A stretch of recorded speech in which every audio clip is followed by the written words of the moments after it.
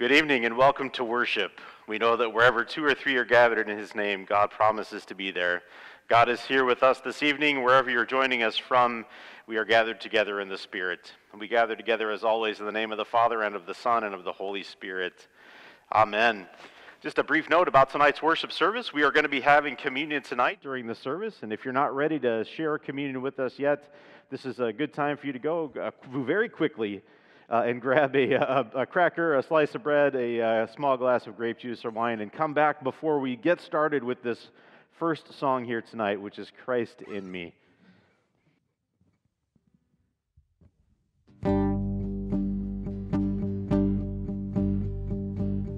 In this obsession with the things this world says makes us happy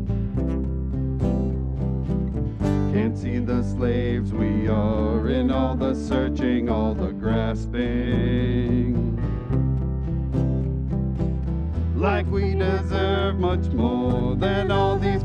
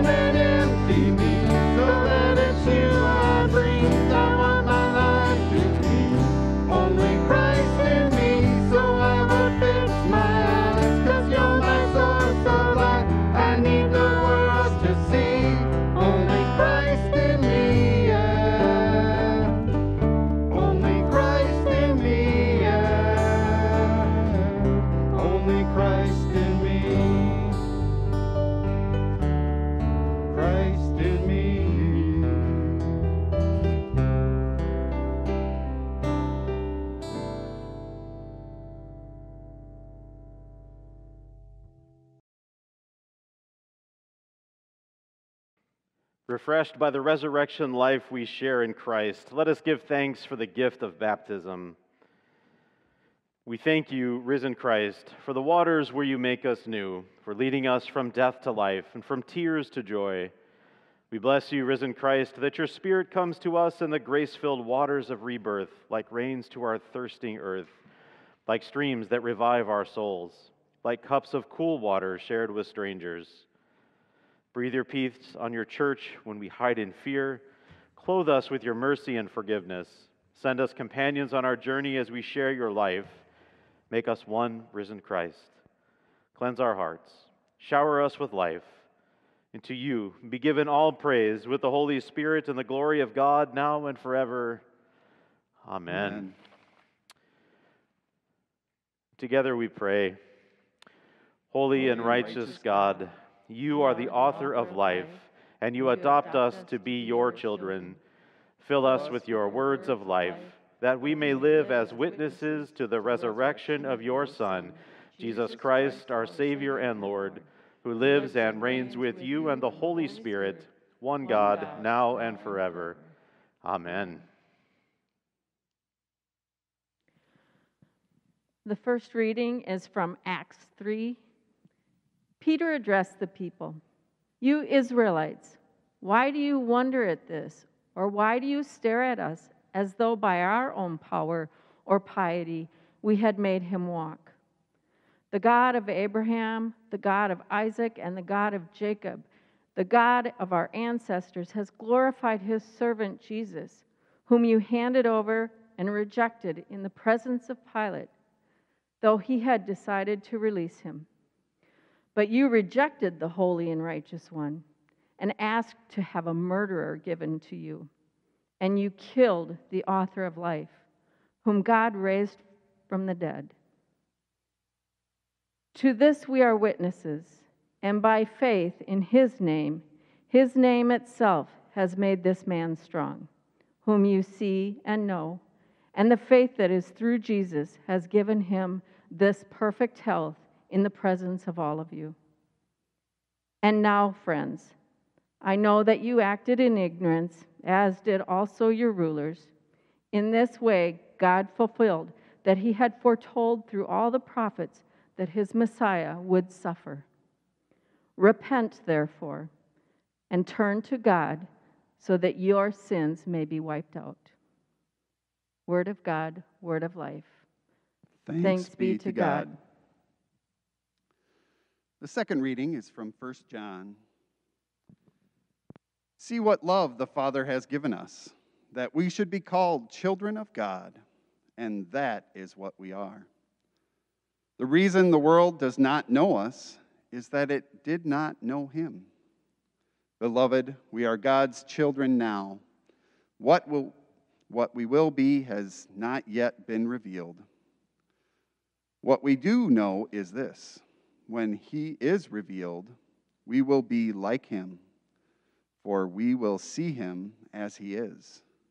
And all who have this hope in him purify themselves just as he is pure. Everyone who commits sin is guilty of law, lawlessness. Sin is lawlessness. You know that he was revealed to take away sin, and in him there is no sin. No one who abides in him sins. No one who sins has either seen him or know him. Little children, let no one deceive you. Everyone who does what is right is righteous, just as he is righteous. Word of God, word of life. Thanks, Thanks be, be, to God. God.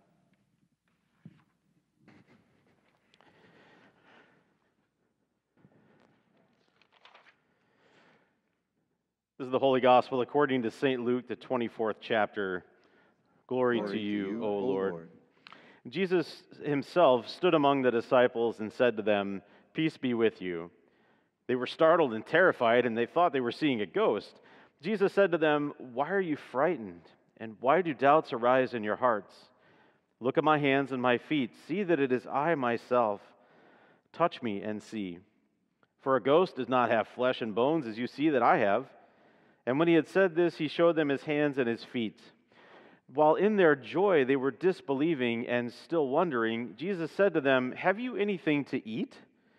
They gave him a piece of broiled fish, and he took it and ate in their presence.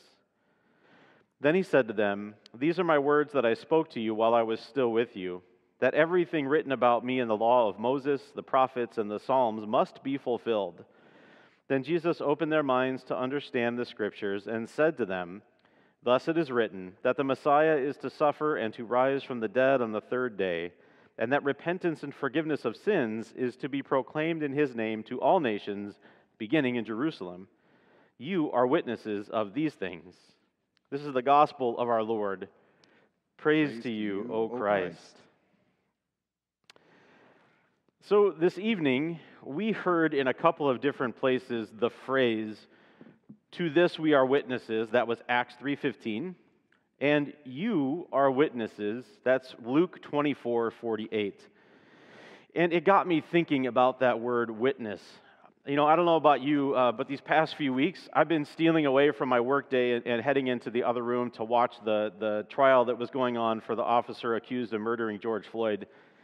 And each side had um, an opportunity to present their case. The prosecution calling on expertise of medical and law enforcement personnel, uh, as well as people who saw things unfold right in front of their eyes. And the defense had an opportunity to bring about their own experts uh, to dispute and question those from the state. Each side called many different, for those of you in the room, what were those things called? Witnesses. Thank you very much for answering on behalf of all people gathered together tonight in this service. And so I think this word witness is pretty fascinating because um, it gives us an opportunity to think about it in a couple of different ways. There are a couple of dimensions to this word. And today, tonight, I'd like to focus on two of them in particular. And the first is uh, that uh, you can be a witness to something, meaning you are seeing it happen uh, as an eyewitness account. Um, and it could also mean, as in the trial that has been going on and has just wrapped up this last week, um, you are someone who's called to provide expert testimony uh, or to speak to someone's character it's almost as if there are two facets of this word. One of them is very passive, you're seeing it happen, and the other one is very active, to witness or to testify. In the English, that's the way we translate this one word from the Greek. It can mean either one of those two things. And that's how we do encounter it in Scripture today. And so in those two places that I uplifted earlier, the, the verse from Acts, that's 3.15, and then the verse from Luke, in the Acts verse today, uh, uh, the context is that Peter has just healed a man in Jesus' name. And there's a crowd that watched it all happen. And they were very astounded and actually highly confused about what just happened. I mean, who just did that healing? We just watched that guy Peter do it. And, and then Peter goes on to teach about who Jesus was and what happened to Jesus and what Peter and the disciples saw with their own eyes in essence, uh, Peter says, Look, I can talk about what happened because I was a witness to those things. I saw these things that Jesus did with my own eyes.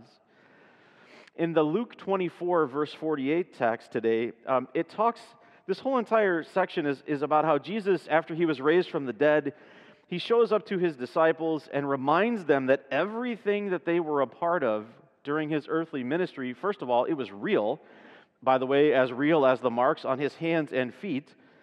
And Jesus, right in that moment, says, Remember, you witnessed all these things happen, you saw them all. Both of these stories uplift that first dimension of what it means to be witness. You see it with your own eyes. Actually, from the reading from last week, uh, uh we hear about that doubter whose name was Thomas, right? And Thomas says, I'm not going to believe it until I see it. Okay, so that's the first aspect of this word. But in both of these occasions, in both of these places in Scripture, there's this other dimension of witnessing happening. Um, it's more of the testifying word uh, uh, of witness. In the Acts reading, for example, in the simple act of Peter teaching this crowd who was very confused about who actually performed the miracle, Peter and the other disciples were witnessing to Christ. That's what they were doing in that moment.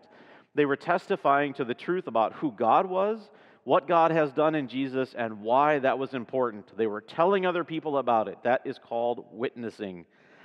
And in the Luke 24 text, even though they saw what had taken place, Jesus is also commissioning these disciples at that very moment to go out into the world and to testify on his behalf. The commission is you are witnesses of these things. So you didn't just see them, you are witnesses. You are the ones sent to testify. There's this other passage, this other spot in the, the Luke reading from tonight that always gets me. Um, these disciples that were with Jesus right there, they saw Jesus teach, they saw him preach and heal during his earthly ministry, that's for sure. They also saw him die on the cross, and they are looking at the resurrected Christ right in front of them in the flesh. They're witnessing these things. And it would seem as though at this point in time, if anybody was going to have the ability, the courage to go boldly out and proclaim what was going on, it would be these people right now. They witnessed all of it so that they can witness to the world. But it's not really what happened here. There's comfort in this moment because Luke recounts for us that even after witnessing all of that stuff, we hear while in their joy, they were disbelieving and still wondering. They still struggled. Right in front of their faces is the risen Christ, and they still struggled. But that didn't stop God from showing up in a big way. In that moment, Jesus sends them out to the world to testify to the truth. What is the truth? That not even death could stop God from loving the world. And even though they were still struggling with what happened, they were called to be God's expert witnesses to the world out there. And, and a big world, a world outside of their comfort zone. But Jesus doesn't say, okay, hit the road and go out to the neighboring countries right now. Jesus says, your witness begins here, at home, to people that you love and people that you know. And how do we fit into this picture? Oh, I think it's really easy for us, pretty comfortable for us, very safe for us to sit on the sidelines and just simply witness what's happening out there in the world around us. Because it can be pretty overwhelming. I mean, there's so much happening out there in the world right now for us to see. I mean, even on the news. I mean, okay, let's, let's back up to the beginning of last week, right? We've, we've got uh, another shooting in the Twin Cities in Brooklyn Center. We've got the trial that was taking place last week we have mass shootings happening in our country. There are tens of thousands of unaccompanied minors down at the border. There's still a crisis happening down at the border. Let's fast forward to this week, right? What did we hear yesterday? We heard the news about a guilty verdict for Derek Chauvin. What do we witness out of all of that? I don't know if any of you saw that on TV or maybe you saw news coverage today. What do we witness out of that? Mixed emotions from the crowds that were out there that were there to witness history. What were they? Joy over a little bit of accountability in the system, resolve to continue seeing justice be done, grief that it took the death of George Floyd on video for all of us to see for ourselves to make that happen. Grief that runs deeper today as yet another African American teenager was killed at the hands of police officers in Columbus. Joy, resolve, grief. You and I are witnesses to all of this. But it's not just the passive type of witness that you and I are called to be as God's children. In that John 1 reading today that we heard, it says, See, look with your own eyes what love the Father has given us that you and I should be called children of God. And that is what we are. But people are going to see us as God's children, and therefore they're going to get to know who God is as revealed through our witness, through our testimony, through our proclamation of God who demands dignity for all, who demands an equal share of life for all, and who forgives sin and calls us righteous through the death and resurrection of his love made flesh. That is Jesus Christ. And how and why? It's not because we earned it, but because of his love for us and for you and for the world. In other words, you and I, we're not just meant to stand on the sidelines and watch. We are called as God's children and sent into the world to show up with the gospel and speak grace in a way that's rooted in kindness, yet demands justice for all and a humble heart ready to truly listen, deeply listen, past all the things that stop us from listening. That word witness in the Greek, it's the same word where we get our English word martyr. It means that our testimony, our proclamation, our evangelizing, our witness is going to come at a cost. It's going to come at a cost for us. It's not going to be easy. It might cost us our comfortability. It might cost us some goodwill. It might cost us peace in our relationships where people might not agree with each other because of politics or privilege or anything else that gets in the way in our relationships. To testify to the truth about the gospel might very well cost us all of this and much more. But when we remember that in dying on the cross, Jesus paid the ultimate price for you and for me, and that in rising from the dead, he conquered the most powerful force this world had to offer, and that's death. That sets you and I free to witness in our words and deeds to the power of a God that nothing can stop. Your testimony of the gospel is powerful. It can breathe life through the Spirit into situations where grace has been stifled. Your testimony, your witness, you know, it might not be through a blowhorn, a loudspeaker, or a microphone to thousands of people. In fact, the way that you witness to God's amazing grace in your homes, to your families, and to your friends, it's so important because of what we heard from that John 1 text today, that first John text. What is that? The world doesn't know God yet, but by the ways that you teach, preach, proclaim, testify, and witness to the gospel, that is the way that the world is going to get to know who God is. So, where do you begin? By being honest with yourself about bro- your brokenness. Claim it, confess it, repent of it, but don't stop there. That's not who you are. You were not created to be broken. You have been made whole by that grace of God and by that forgiveness. Take a moment and see what God has done for you and help others see that it's for them to testify to it. Boldly proclaim all that God has done and help people see that God's love is as real as those marks on his hands and on Jesus' feet. And in closing, just take these words for what they are. Be the expert witness to the gospel that you were created to be because the world needs your voice. And the world needs to know how much God loves the world through your words and your deeds. Amen.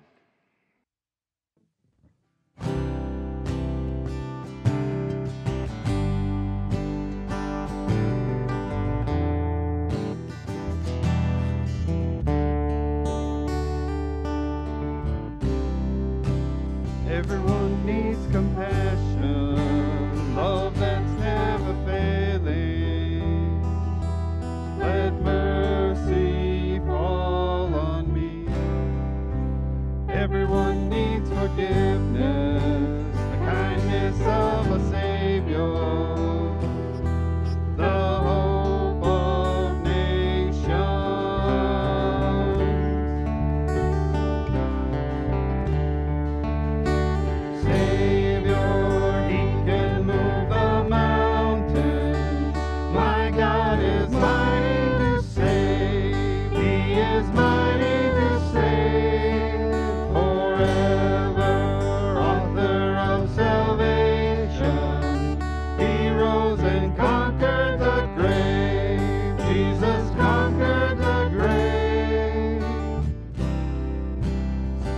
me as you find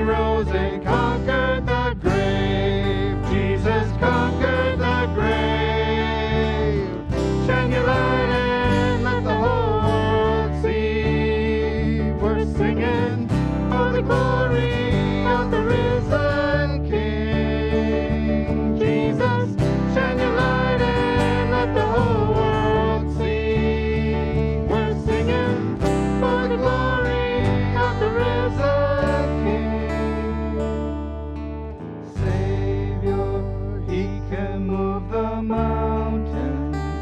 My God is mighty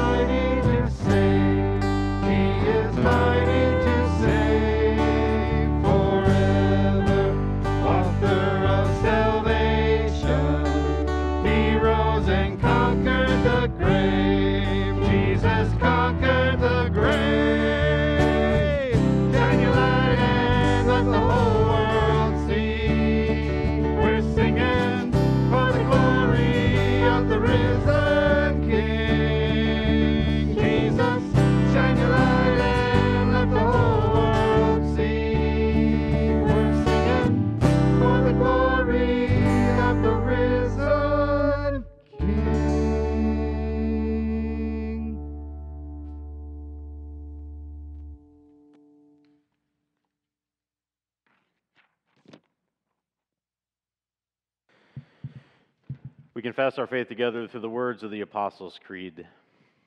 I believe in God, the Father Almighty, creator of heaven and earth. I believe in Jesus Christ, God's only Son, our Lord, who was conceived by the Holy Spirit, born of the Virgin Mary, suffered under Pontius Pilate, was crucified, died, and was buried. He descended to the dead. On the third day he rose again. He ascended into heaven. He is seated at the right hand of the Father, and he will come to judge the living and the dead. I believe in the Holy Spirit, the Holy Catholic Church, the communion of saints, the forgiveness of sins, the resurrection of the body, and the life everlasting. Amen. Alive with the risen Christ by the power of the Holy Spirit, we bring our prayers before God who promises to hear us and answer in steadfast love.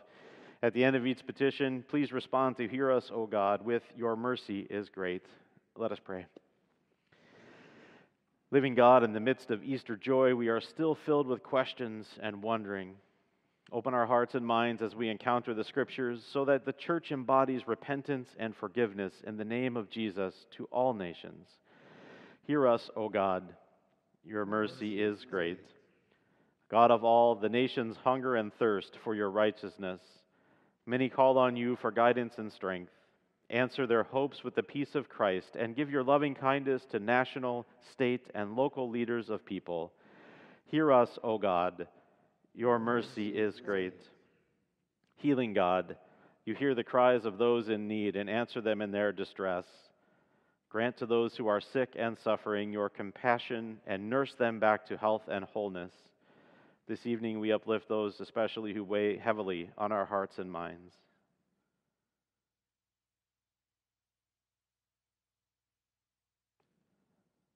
Be close to the hearts of the lonely. Hear us, O God. Your mercy is great. Loving parent, you have given us such love that we should be called the children of God.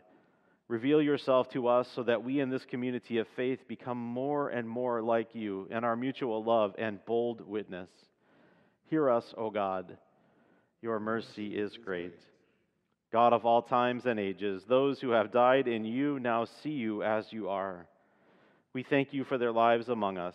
And tonight we give thanks especially for Jerry and Susie. Assure us of the peace you have promised, that we may join them in everlasting life. Hear us, O God. Your mercy is great. In the hope of new life in Christ, we raise our prayers to you, trusting in your never ending goodness and mercy. All this through Jesus Christ our Lord. Amen. So, right now, we're going to collect an offering. And if you are joining us here online, uh, you can do so by going to St. John's, uh, oh my goodness, stjohnskasson.org slash giving. And you can select uh, the giving tab there on the website. If you're interested and would like to give to this week's Globe offering, the Globe offering this week is going to uh, Minnesota Adult and Teen Challenge working to assist women and teens in gaining freedom from chemical addictions and other life controlling problems by addressing their physical, emotional, and spiritual needs. And now we offer this song and invite you all to join us at the table.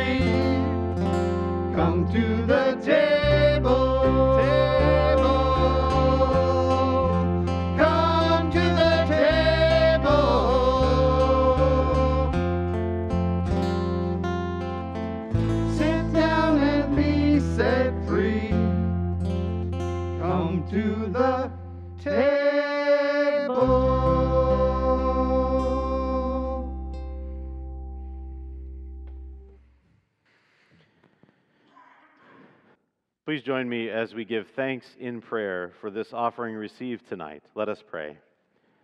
God of love, you call us beloved children and welcome us to your table. Receive our lives and the gifts we offer.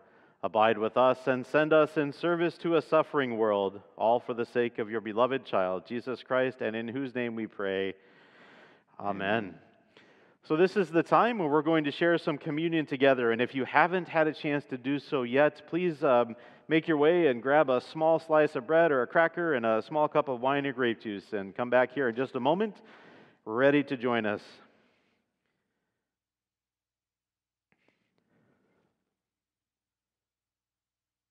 Welcome back. We hope you've had a chance here to grab a, uh, the elements there in your home. So, tonight we gather here at our table, the table where God meets us in the promised grace made real, here at our table to the tables in your home. When we gather together, we remember that. And the night in which he was betrayed, our Lord Jesus took bread, gave thanks, broke it, gave it to his disciples, saying, Take and eat. This is my body given for you. Do this in remembrance of me.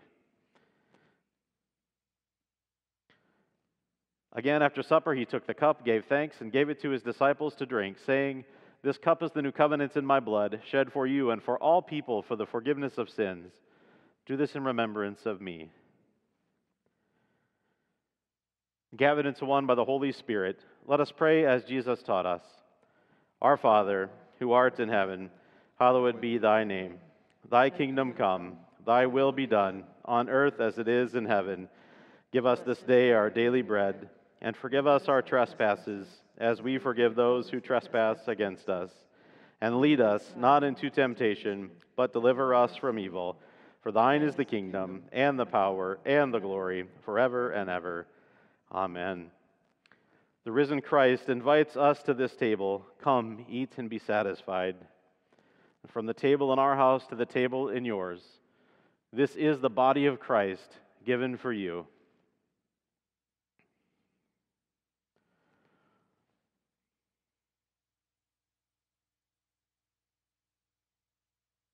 This is the blood of Christ shed for you.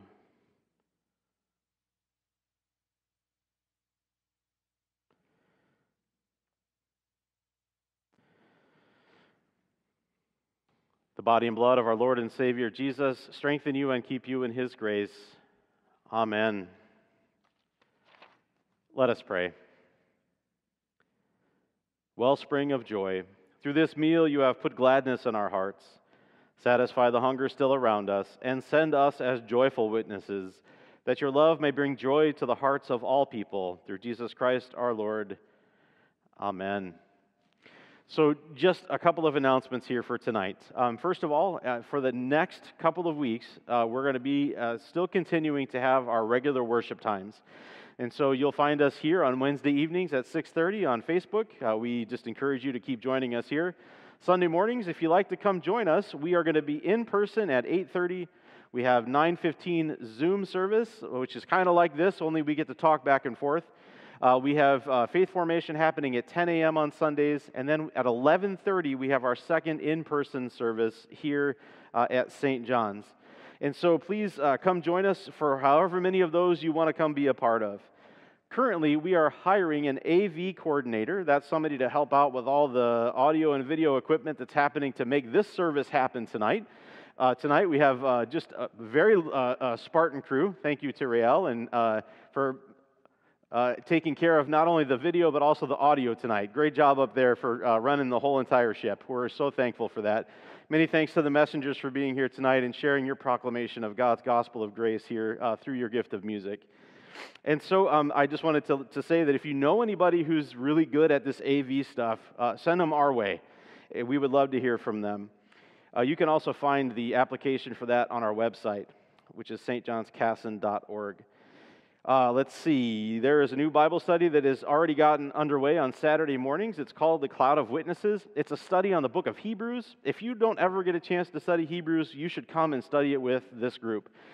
In the three year cycle of readings we have, this uh, book of the Bible is only just barely touched upon in all of the three years that we make it through. And so come and be blessed by this book. You should definitely be there if you can. Check with Deacon Amanda Sabelko for more information about that. Uh, let's see, our final Bible and Brew is going to be tomorrow night. That would be April 22nd at 7 p.m. And uh, you can find access information to that through your e news. Um, and you should uh, definitely come and join us. Even if you've never been there before, it's great if you would like to come be a part of that. Um, and just as a, just a brief reminder that um, as my call comes to an end here, uh, my final Sunday is going to be the 2nd of May. And uh, there's going to be some information coming out about that service here in the next week or so. Uh, and my final day in this call will be on the 4th of June. So um, more information is available about that. Just wanted to remind all of you that, um, that definitely if you can come and join the celebrations on the 2nd, you are welcome to do so. Sam, did I forget something? Nope. No. Okay, great. Well, and thanks to the messengers for uh, allowing me to join you two weeks in a row on the piano. I'm so grateful to be there and also looking so forward to a uh, phenomenal piano player coming back soon. Uh, but what a joy to be able to sit and uh, be in the midst of great musicians and sharing the word here through song. I'm really thankful. Thanks for the, the patience you are extending my way. And with that, I offer this blessing. May our glorious God grant you a spirit of wisdom to know and to love the risen Lord and the God of life, the Father, Son, and the Holy Spirit bless you now and forever. Amen. And we leave today holding on as tightly as we can to that proclamation of the gospel of a God who is real and a God who lived among us.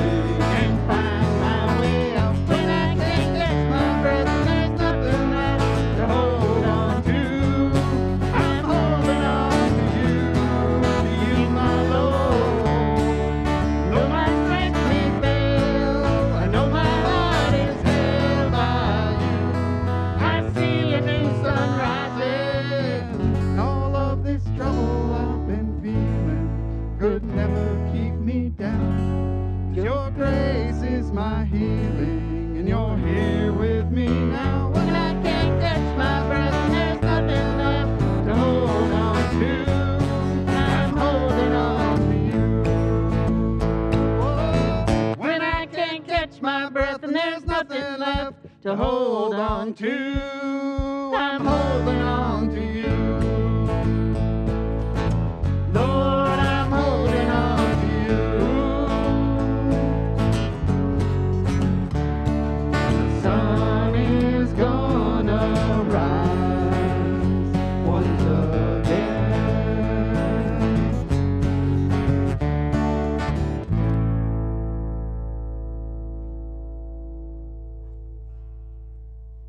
Hallelujah. Christ is risen. Christ, Christ is, is risen, risen indeed. indeed. Hallelujah. Hallelujah. Go in peace, share the good news. Hallelujah. Thanks, Thanks be be to God. God. Hallelujah. Hallelujah.